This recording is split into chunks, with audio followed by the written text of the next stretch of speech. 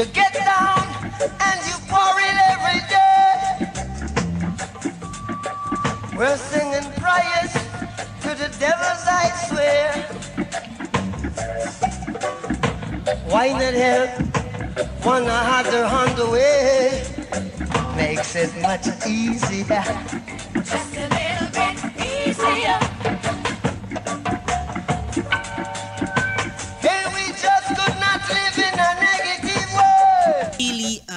Helping to, to inform my work and my educational work. In addition to my grandmother, I told you I grew up in Jamaica. I had a prime minister by the name of Michael Manley. And before decolonization and all of that was sort of a, a, a, a, a construct that's sort of so ubiquitous in the global north and so on, there were people in the Caribbean doing this work. Michael Manley, our post colonial uh, prime minister in Jamaica, he passed a law that said no bastard, no day. Up until that time, a child born in Jamaica out of wedlock was called a bastard. And so he passed a law to say no bastard, no day. Oh, no bastard, no day. That's my Jamaican uh, language. So that's so important. All of those people informed my work, informed my thinking. The work of Walter Rodney, when I went to university, how Europe underdeveloped Africa. You should read it if you've never read it. Get it and read it because you realize that the conversations that we're having today have been going on in all of these spaces. So I wanted to share a little bit of who I am with you so you can get a sense of my journey and you can get a sense of what I call my entry point into the conversation. So the, the when I've looked at the, uh, the the UCEA theme, working for and with equity towards leadership and leadership towards sustainability, it really caused me to pause and think and reflect deeply on how can I connect to this? How can I build on this so that we can continue the work in the times in which we're living?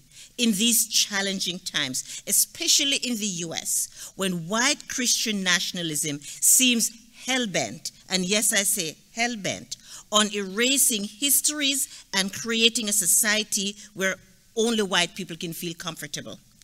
And, and that is, we, we have to begin to think about how we as critical educators, how we as educators who want to see change, who want to challenge all of the oppression, who want justice, who want children to thrive, we have to begin to think how are we going to do this work in the context within which we find ourselves, particularly my brothers and sisters in the United States. And I'm not going to get all smug about Canada. I live in Ontario.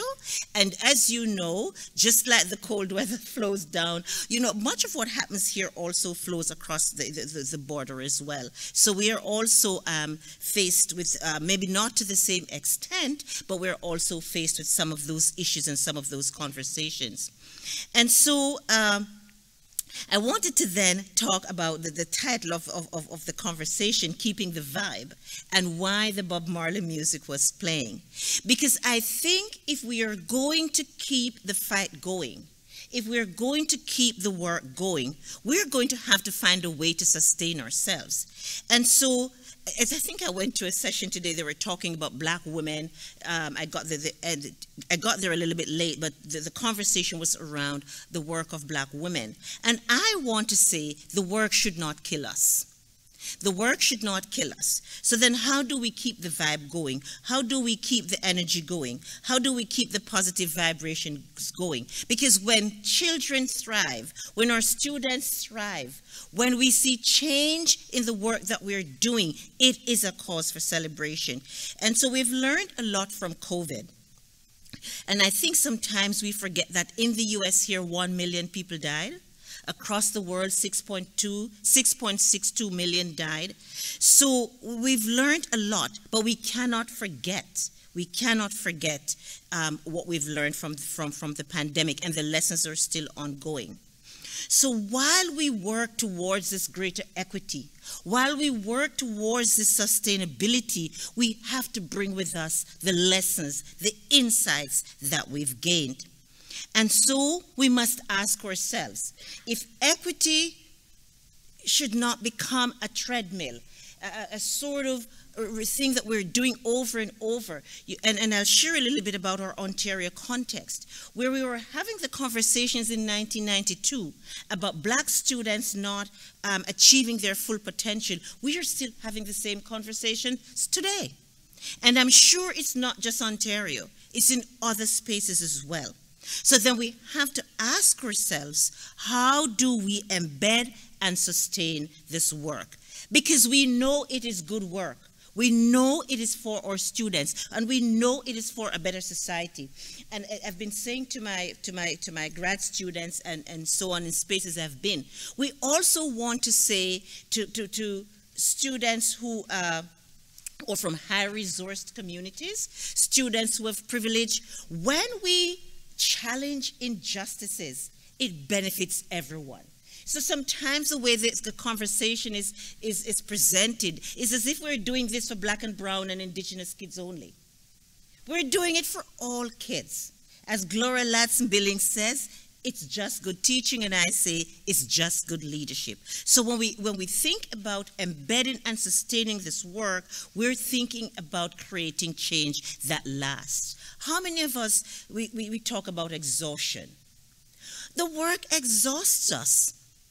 If we're doing the same thing over and over and we're not seeing and feeling the results, then we feel exhausted.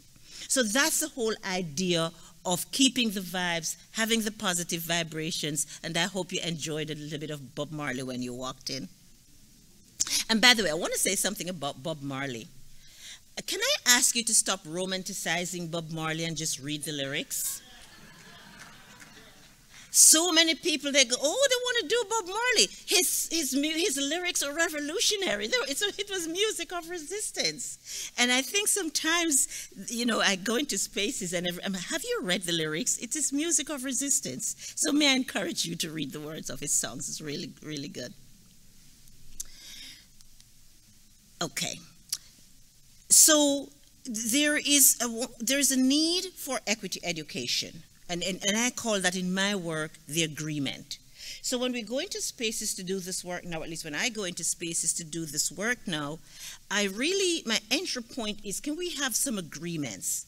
Because I'm not going to expend energy having conversations whether white supremacy is a thing or whether oppression really exists. And we go through those and we spend so much energy into spaces having conversations around things that we should have agreements about.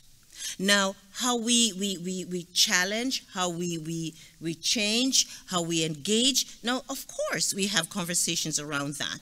But we shouldn't be I, I find sometimes we spend a lot of energy uh, uh, trying to have conversations around things that we should have agreements about. And so, drawing a little bit on my Ontario context, and I hope I'm sh showing the right slides there, drawing a little bit on my Ontario context, the in, in Ontario, for example, um, we've had research just in 2017 that showed James and Turner that showed that black students were not achieving to their full potential in the greater Toronto area. So I, I, I raised that to say and to share my context to give you a sense that yes, there is need for this work. And the, the research tells us that, and the stories tell us that as well. Within the US, the conversations around anti-woke and anti-CRT also says to us that there is need for this work. And I just want to pause for a little bit and talk about this anti-woke um, sort of movement. It is really saddens me, and I'm sure it saddens you as well, how much the, the, the right really has appropriated the word woke that was supposed to be, that is about justice and liberation and is weaponizing it. And we really have to fight back. We have to speak back to that. And we really have to say, to reclaim it. And we have to think about how we do that. And so I just want to say that as we gather, both in person and virtually, that there is need for this work. And so I want to just talk. now I wish I had my, I should put my slides up here to see where I'm at here. But anyway, we will just go, go, go with me here. Um, and so, as we talk about embedding equity and sustaining it, I want to say something about performative equity work, what I call laminated equity, feel good equity, window dressing equity, the DEI projects now that are, you know, it, it, it, it, it, it, it, it, what do I call the DEI project? It's almost a way to stop the revolution. They will have a DEI project. It's, it's, we really have to begin to think about a lot of the, the neoliberal approach to this equity work. That's really growing like, like it's just sort of taking over. And I think I was saying to somebody today when we when we go into spaces to do this kind of DEI work, we should ask what is structurally going to change what what exactly do am I here to do? Am I here just to adjust the curtains? When I say as a metaphor, am I here just to to sort of make people feel good that they're doing something? So when we talk about this equity work, I really it's very important for me to say that we have to be mindful of performative equity because many institutions, uh, some people are doing equity work I've been in the schools, I've been in the context where folks are doing equity, but they cannot name whiteness. They're doing equity but cannot say white supremacy. They're doing equity but they cannot say decolonization. They're doing equity so they're not, they cannot, but they cannot say decoloniality. So what exactly are you doing? Let me stop and ask, what exactly are you doing? If you're doing equity and you cannot name it. So, so, so, so as we talk about embedding and sustaining, we have to recognize that the journey is complex, it's contextual, and it is nuanced.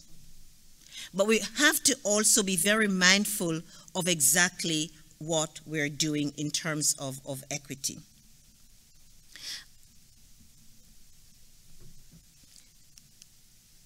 So I, I wanted to just, uh, I'm going to skip over. I just wanted to sort of share a little bit of the Ontario context. I have a link. You can look at it because many uh, school systems in Ontario, and I'm sure here in the US as well, we have, I think somebody asked me today about our districts. We have school boards, and so they have now school boards, and it's called the Board Improvement Equity Plans. And that trick goes down to the School Improvement Equity Plan. And that's um, I share that to say that whether it is in the United States or it is in Canada, many organizations and, and school boards are, are sort of doing equity. And so the idea again is what does that look like? What are the conversations we're having? And as a, in, in, Ontario, I was just um, working with some school leaders talking about and looking at how do we um, think about data you know, how do we think about sort of what is evidence based? How do we disrupt that? How do we um, go behind what the data are telling us and so on? So I'll, I'll pass on that and keep it moving. As I talk now in terms around when I say embedding equity and, and, and sustaining it, what is my entry point and, and how am I conceptualizing? And I call that critical equity. And I know the word critical is sort of used in, in many ways, but I just want to say that when I'm talking about equity and doing the work, I'm positioning it within history and struggle and contestations. We cannot do equity work if we're not challenging settler colonialism that is ever present through the occupation of land and language and culture and ways that communities understand themselves and the world. We, we, we, we, equity work can no longer be a feel-good project. We've got to when we're in our schools and in our in our um, in our district meetings and in our principal preparation courses and all of those things. How are we preparing our school leaders to have these conversations? How are we preparing our school leaders when we're doing equity work to, to engage in ways that disrupt and dislodge colonial practices that have perpetuated? What does that look like? when I'm talking about this critical equity, I'm also talking about alternative research methodologies. I was at AERA this year, and there, the, the, the, the culminating lecture in sort of for, for AERA. And AERA is inviting us not to show up with the, the sort of same, you know, here's the methodology, here's what I'm doing. Bring your songs, bring the stories, bring the video projects, bring all of those alternative ways of doing the work, of getting the voices, of getting the narratives into space. And for me, that is the critical equity work. You know, what are we, how are we engaging our students? How are we engaging our students in their own in their own work? How are they uh, and being engaged in the space? I was in a session this morning with a principal who was sharing her own transformation and her own um, sort of uh, going along her journey um, to where she was sort of disciplining students to lovingly redirecting them. And that is so important. We have to wrestle with the epistemological and ontological concerns in the work. And that's also important. I, the, the word that we like to use is tribal. But I do not use that word. What we are trying to find are solidarities. That's what we're trying to find. Because, you know, the word tribal is, I find it to be a very um, hegemonic term that's used here in the West. When you go to the continent of Africa, people are in tribes. And, there, and it's not a, a, a competitive thing. That's your ancestral connections.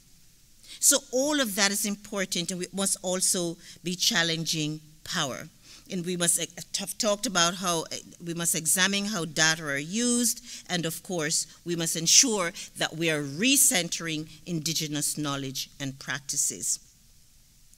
And you know, um, the yesterday, I want to take a, a brief moment to reflect on yesterday's session, where we all sat in silence and listened.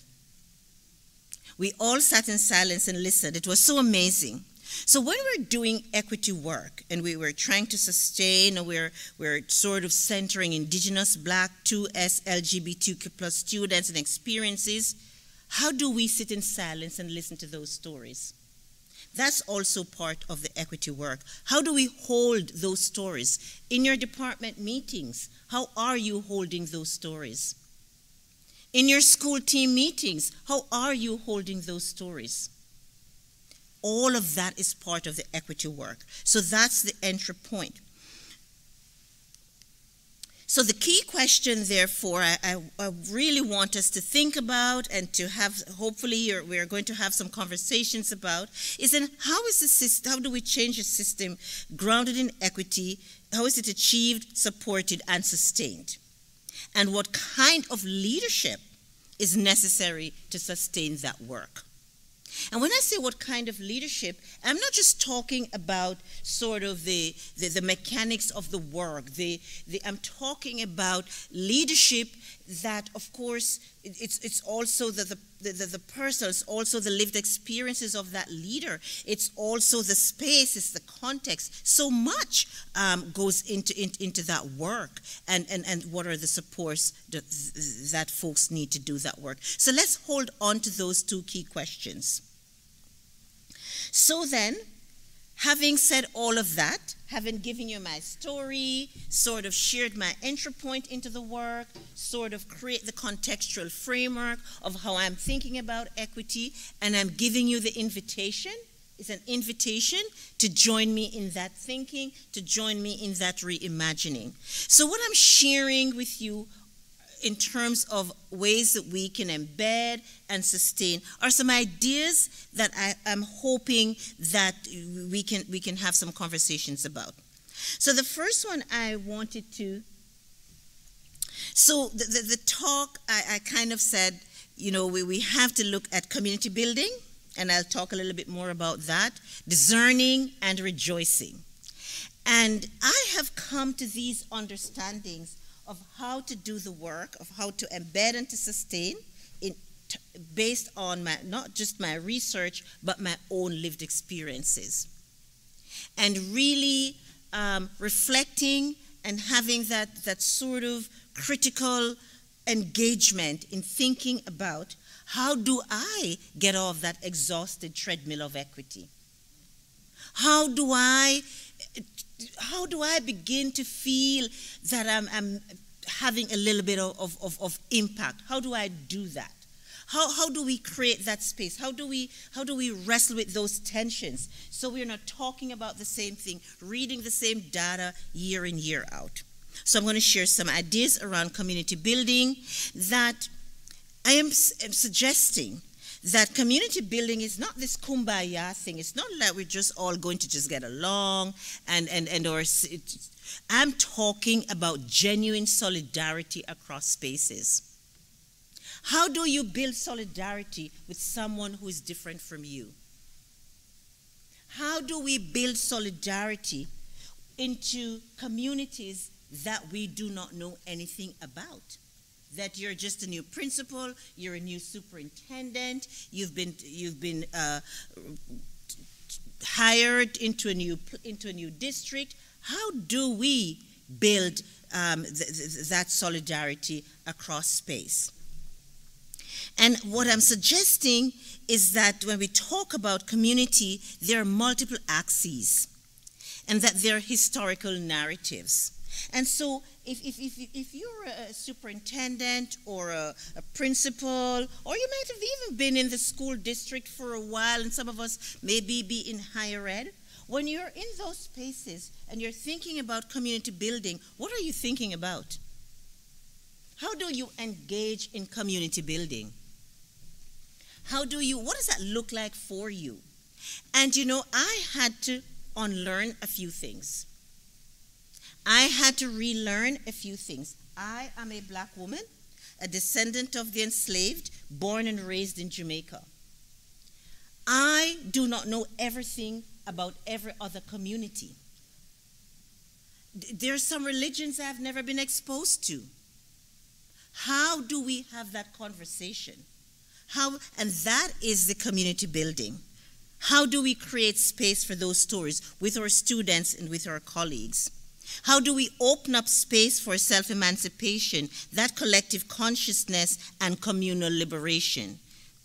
And I think that as we're, we're doing this work, and we talk about liberatory praxis and we talk about liberation, we want to be liberated from oppression. We want our students to be liberated from oppression. We want our students, as Bettina Love says, to be into spaces where they can thrive. You know, that we have a whole industry about resilience. Let me take a moment and pause and talk about resilience. Can may I ask you to stop telling our children to be more resilient in spaces that are oppressing them? Let me say it again. When we talk about resilience, change the school space. Change the space and stop telling children to be more resilient. To, to, to, to you, we, there is not enough resiliency to overcome oppression. There is not enough resiliency when a child is beaten down, you know, uh, put upon. There is not enough. That's the reason for all of some of the trauma that we're experiencing. And I, I, there's this whole thing after COVID that was popping up, and everybody's doing resiliency. Resiliency is a wonderful thing to have. But resiliency in the face of oppression must be reconceptualized differently. That's what I'm trying to say. I'm not saying resilience is a bad thing. We all need it. You know, I need resilience to, to go to the gym and get my 10,000 steps. oh, tell me about it. It's hard work. But, what, but I'm not feeling oppressed while I'm trying to get my 10,000 steps. So when kids walk into school, and this idea that you expect black people and brown people and indigenous people to be more resilient and then be more resilient. Change the system, change the systems of oppression. And we continue to talk about that. Discerning. This is from my grandmother. And sometimes, you know, equity is polysemous, it's everywhere, it's multifaceted, and it's contested. And of course, sometimes we, all of us, all of us are implicated, we fall into the neoliberal trope. We go into our school boards, we go into our schools, we go into our districts, and we, you, and, and it, it's, we, we, we, we, we kind of just fall in line. And we have to be discerning. We have to have that third eye because sometimes injustice is doesn't comes in different forms. It, it's and so that's the discerning. So when we're looking at this work and we're trying to embed and we're trying to sustain, we have to unsettle those neoliberal narratives. We have to unsettle them, and we must ask alternative questions. And you know, my entry point into this work now, after 30 years and taking the, the you know uh, a few setbacks and a few rough roads and and so on, and, and all of those things, you know, you learn, you unlearn, you you you you you you you, you, you use those experiences and narratives and stories. Now I have learned how to ask those alternative questions. I have learned how to enter this space. And I was speaking with Dr. Mullen around the idea of, for me right now, where I'm at in my journey, is not to create spirit injury, but is to have an invitation, is to invite people into the work. And so I spend a lot of time thinking about how do I do that? Because if you're if you're a superintendent or you're a principal in a particular context, because this work is contextual, and you, you do not have anyone else to support the work you're doing. We had better learn how to do that invitation. We'd better learn because, of course, we can't do this work by ourselves. So there's so much into that. So we have to be discerning. And in discerning, in discerning, I'm going to share, I've also now learned, learned when to yield for another day. I have now learned in my discerning that if I can't win this fight today, I better go get some, some help and come back tomorrow. And so you might be in a school district where right now that, that, that policy that you're trying to implement, which we know is good, you just don't have enough supports to get you there. Go get your backup and come back. You, we do not have to put ourselves, we do not have to sacrifice ourselves um, right in the moment. That's a discerning. It is the understanding. It is all of those intricacies and nuances that we that we, we, we, we have to come to see and come to know. And also the last thing I want to share, and I'm going to go into some more of these in detail, is creating space in the work for joy. That's keeping the vibes. We have to see joy as resistance, and I'm learning that. You know, it's so funny. Um, we sometimes sit in trauma so much we forget joy. And we, we, we, our histories are so painful that we forget joy. But we must remember that our ancestors used to sing and they used to rejoice. And we, we must not forget that in the work because that's a source of sustenance as well. And so, just quickly, um, I just want to take a deeper dive into a few of these, the, into, into, into some of the notions here. Um, as I've said, uh, the, the, when we talk about community, we're talking about grounding the work in solidarities. And I want to, again, I want to come back to this a little bit, that when as oppressed peoples, and, and you know, I, I sort of, again, be very mindful of how we, of how we sort of label ourselves as oppressed people. We, the system oppresses us. And, uh, you know, if you follow me on Twitter, you'll know that uh, I'm always about language. Um, we do not speak of marginalized students, but students marginalized by the system. You know, we, students do not want to show up in school and, you know, have, have sort of feel like they're constantly being labeled. But so, so that's for another time we can talk about that. But we must come to see our futures as inextricably linked and that we have to be careful as we're building this community and, and working in, in towards this community liberation that we have to be mindful and these are some cautions about seeing equity in those narrow terms and I drew on the, the, the work of Bon here, um, who again talks about how much equity has been weaponized. And within the context in with which we find ourselves, when there is so much diversity happening in schools, it is very easy, and we're seeing it as those refugees are taking what we have. So, and those people are coming to take what we have. And, and, and we have to be very careful of how neoliberalism and white supremacy create those constructs that we fall into. So I'm suggesting and opening the invitation that we think about when we think about community, we think about this work, we think about our, our solidarities across our various identities. And that's how we are going to embed and sustain the work. And so I've already talked about uh, community space and multiple access. I just want to share um, something uh, in, in, this idea around relationality that our Indigenous brothers and sisters um, shared with us yesterday, and that's really part of Indigenous work. In, in our university and schools, we have uh, embedding Indigenous knowledge, and we use a lot of the, the ideas of relationality. And, and, and there's a writer, I think she's from Australia, Lauren Tynan, and she writes that relationality is learned from the stories. Watching our old people yarn or sitting with country, sitting with country. Relationality is seldom learned from academic journal articles. And so here we are at UCEA. Of course, we're going to come and be in community. And I have an exercise for all of you. I'm coming up, you know, I was a classroom teacher. There shall always be an activity. But she also talks about this idea that the relationships are spiritual and there's a cultural foundation for indigenous people. And so it's really how we include all of these stories and, and what are the responsibilities that we take onto ourselves to get to know one another in these kinds of, of, of, of, of, of relationships. But relationality is that idea of connecting to the stories, to the land. And, and I want you to sit with that for a bit.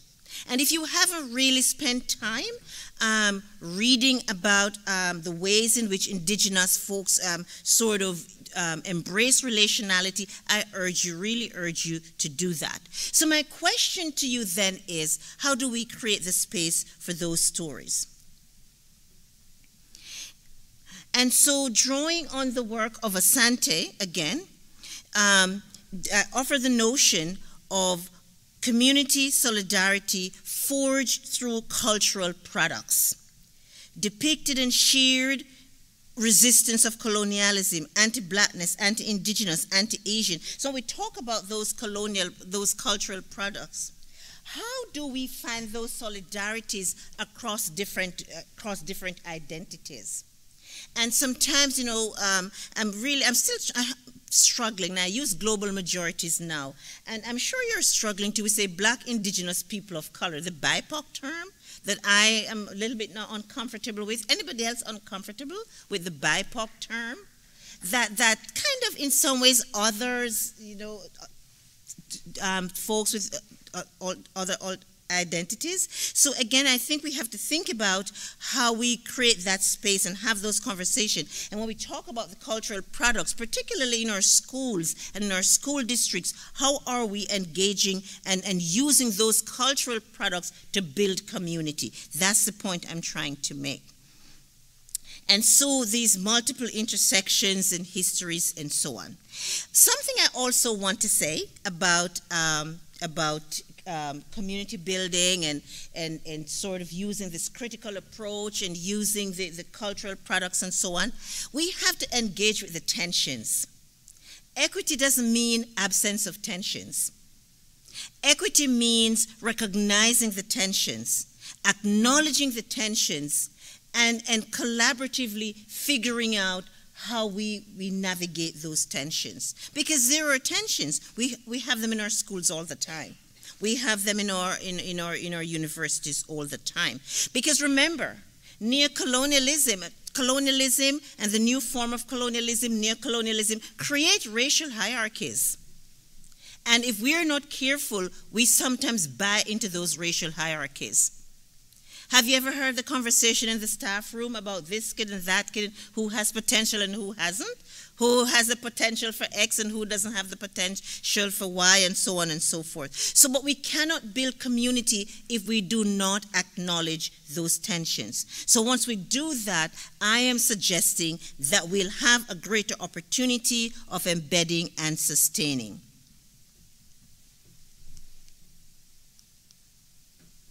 So, let me, um, before I go on to discerning, I have a little activity for you, and it's something that has been on my mind. I go to a lot of conferences and so on.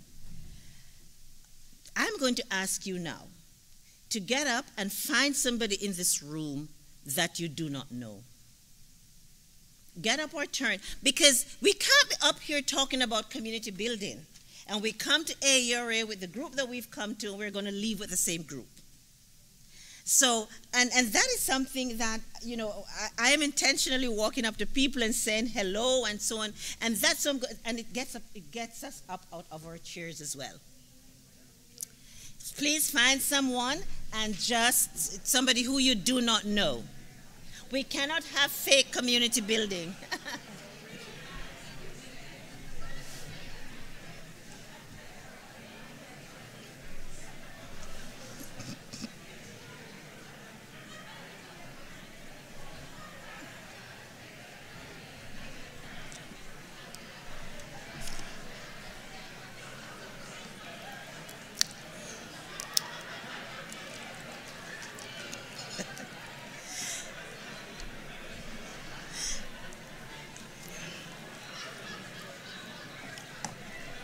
Okay, I needed that.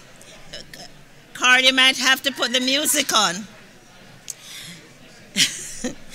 okay, folks, say goodbye to your new friend and let's keep it going. and I can't see you.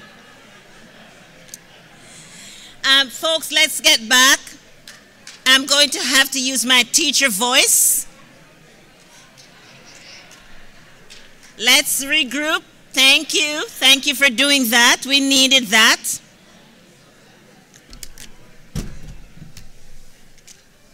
Okay, folks, let's keep it moving. Thank you so much for taking up my invitation. Thank you, thank you, thank you. We needed that, didn't we? We needed that. Yes, that's community. We needed that. All right. And and and so when we talk about community building, the question is not a theoretical construct. It's not a theoretical construct.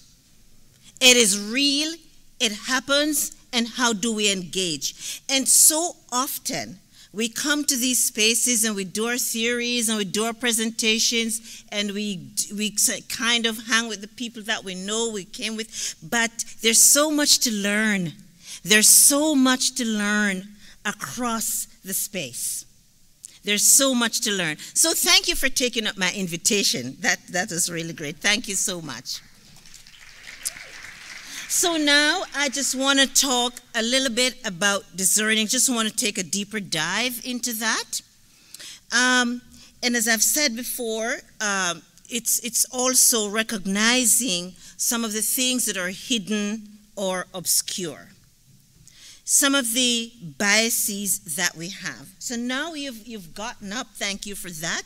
So now I'm going to do ask you to engage in another activity that will not require you to get up. But it's going to require you to either take out your phone or your notepad. I'm very tactile, so I still like paper. And take a few a minute to begin to reflect on something that's in your belly that you need to excavate. Some bias, something that you really haven't paid attention to, that you need to reflect on and excavate so that you can then be free to move across spaces. And I'll give 30 seconds for that. I, I, I share a quick example. Uh, because all of us, if we do not examine, you know, the things we are carrying around based on our own socialization, it sometimes creeps up on creep up, creeps up on us. So I'm going. So that's another part of the discerning. Discerning what's I, what's in there to be excavated, because the work begins with self. Write it down. You do not have to tell anyone.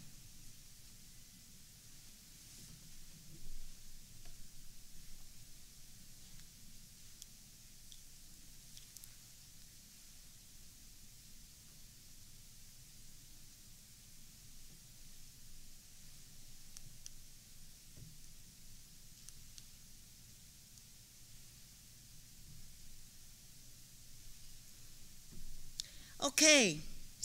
So it's, it's, it's thank you again for accepting that invitation of really sort of reflecting what's in the belly, what's in the craw, what is there that I need to excavate, that I need to reflect on, that I need to work on. That's part of the discerning. We discern others, we discern spaces, we discern context, and we must also be in touch with self.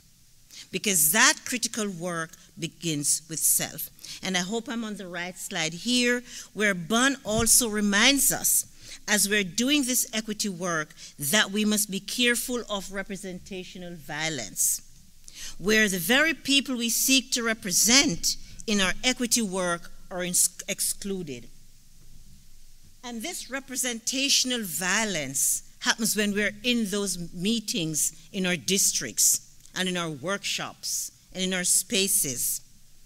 And Bun argues that this violence can be twofold that is both the act setting of the parameters of epistemic categories. And where's my new friend Lola? And uh, my new best friend Lola. And Lola was just talking about that epistemic um, categorization today in our workshop, where people kind of look at her, do not know, and they sort of just place her in a space. And of course, Bun says these are discourses by professionals and elites and lack of access to representation, of course, that marginalizes groups that are being represented. So, in this discerning, in the work, we also have to, and do not use the word blind spot anymore because there are um, ability issues around that. I use the word we must look for our vulnerable spots and do not use the word color blindness anymore. I use the word color evasiveness. So, language is also very important.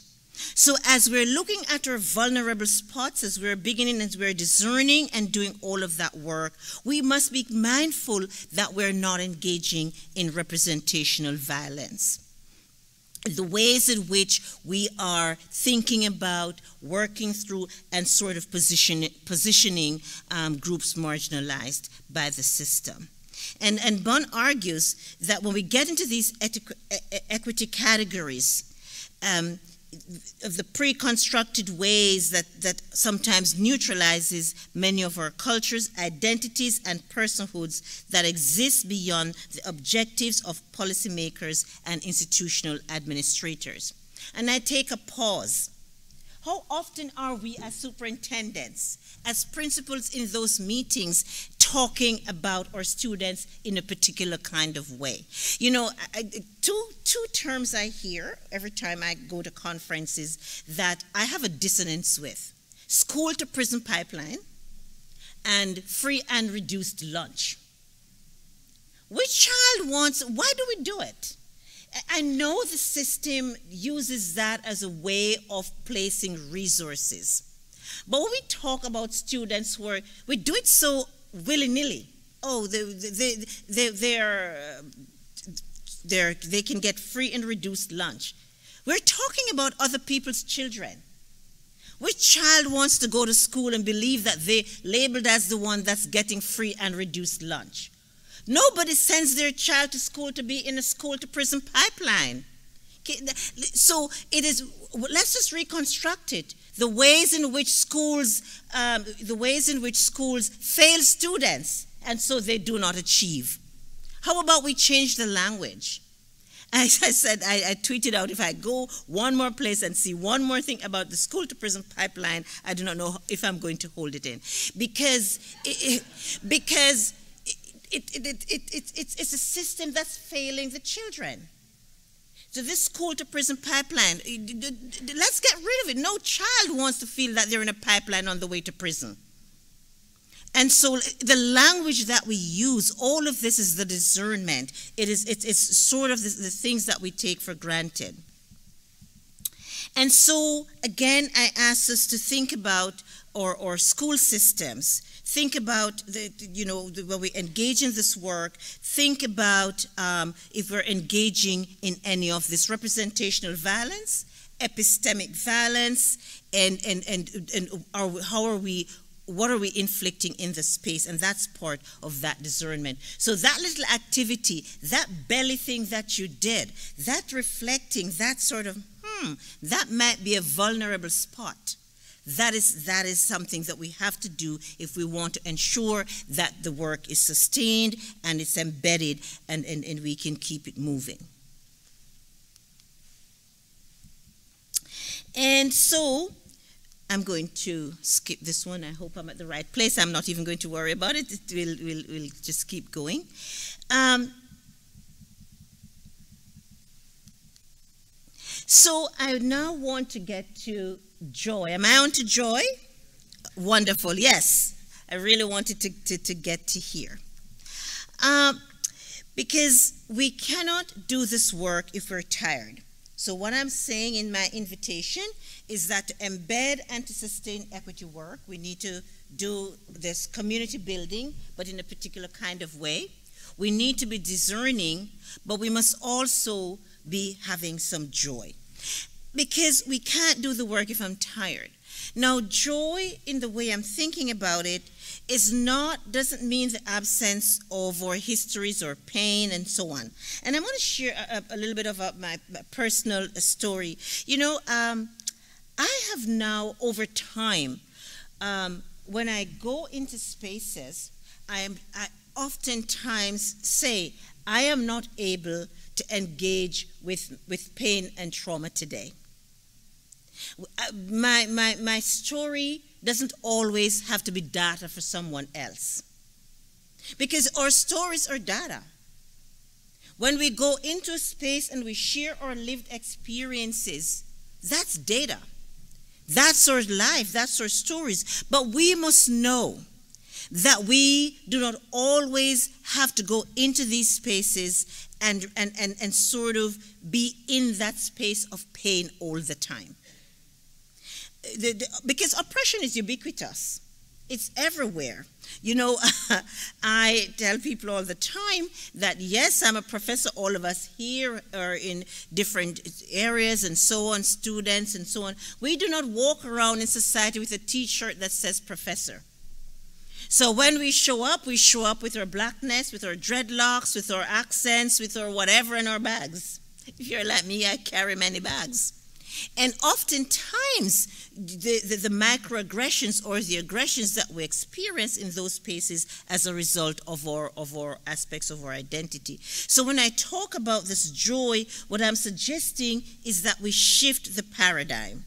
That equity work means that there must be 28 hours in a day. There, that equity work has no boundary, it has no borders. And I think we were talking about that in a session today as well, um, a session on black and the work of black women. And so, in order to sustain this work, we have to sustain um, our equity workers, we have to sustain ourselves. We do not, it doesn't mean that we have to, we have to give to the point where there's nothing left in here. You know, um, I actually had somebody, it was a student actually who said to me, Dr. Lopez, you're taking care of everyone. Who is taking care of you? Who is taking care of you? In your organizations, who is taking care of you? So we really have to ask ourselves that question in addition to are we taking care of ourselves? We must take care of ourselves. And so we've come to recognize and that joy is important. And we must show that joy. We must show that joy. Because as uh, I can't remember who says that as people fighting for liberation, we've come to realize that joy is an important aspect of doing this work. And it was Alice Walker who says that resistance is a secret of joy. I used to say when I was a classroom teacher and I was a school principal doing equity work, I used to say, if we walk around in the schools look like social justice work is, is sort of burdening us down, why would anybody want to be part of that? Serious. If you're always tired, busy, um, running, going, people look at it, I don't want, you can keep that. And now, post COVID, or maybe we're not post COVID, but in this world that we're in, we recognize that that that that we it, doesn't have to be done that way. We can pace ourselves. You know we're not going to undo 500 years of whatever it was in one day or in one workshop or in in, in, in, in, in one space. And that joy in resisting oppression uh, we must embrace that. And we've, you know, we've talked a lot about black joy, and many of us are now sort of just, just living in black joy because that's what keeps us, that's what sustains us. You know, um, it's good for our mental health and well-being. It's good for it's it's just good for us as human beings because it keeps us going and helps us to do that work. So when we're thinking, therefore, of embedding and sustaining equity, these are the things that I'm encouraging you to think about. Those are the things that I have been thinking about. Am I good at it? No. I'm still working at it. Uh, it's a work in progress for me. And, you know, it's Audre Lorde who says, um, who wrote, caring for myself is not self indulgence, it is self preservation. And that is an act of political warfare. And doing equity work where the legacy of white supremacy and systemic inequality means that black joy is a radical act of defiance and a refusal to accept the narratives filtered through the white gaze.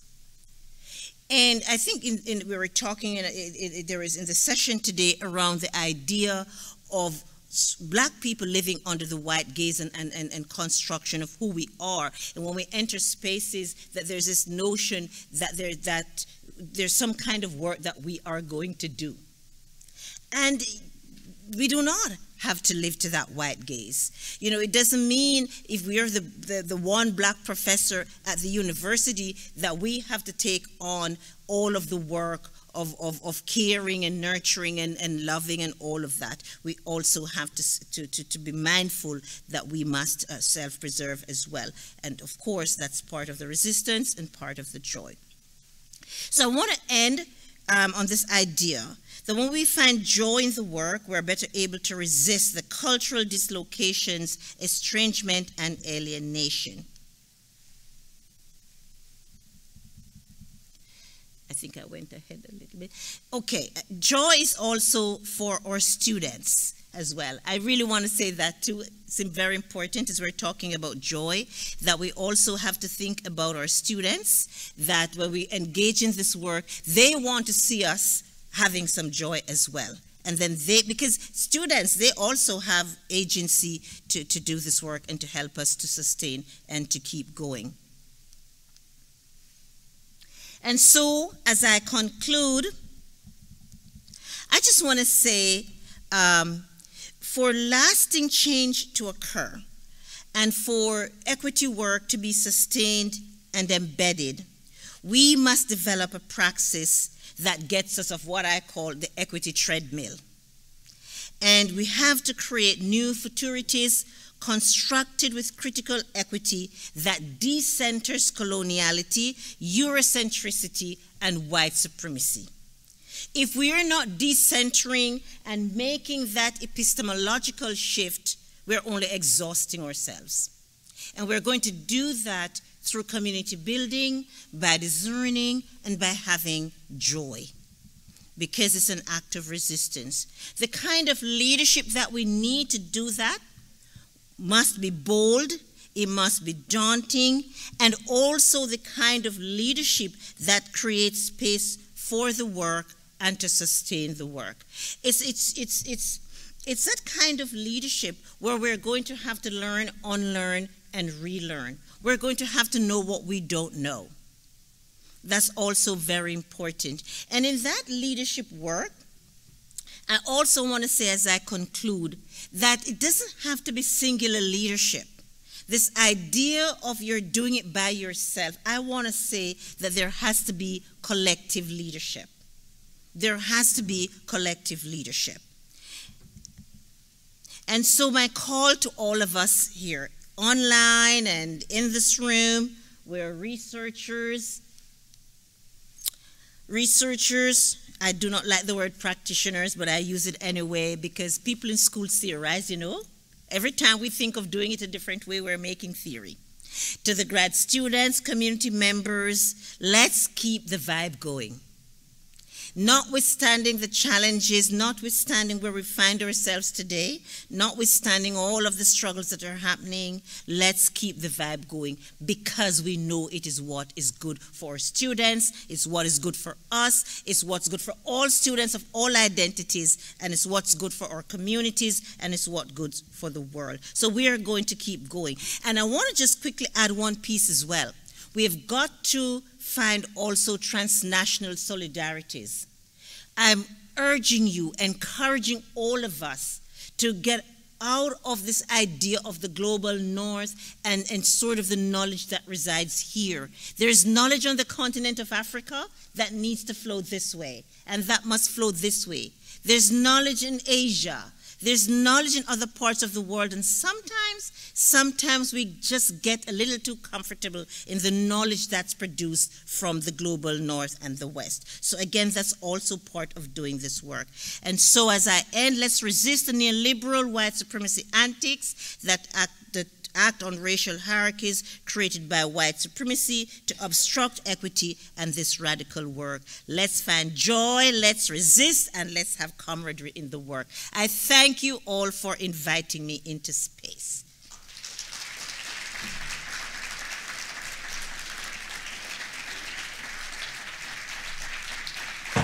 Make way. Thank you so much. And by the way,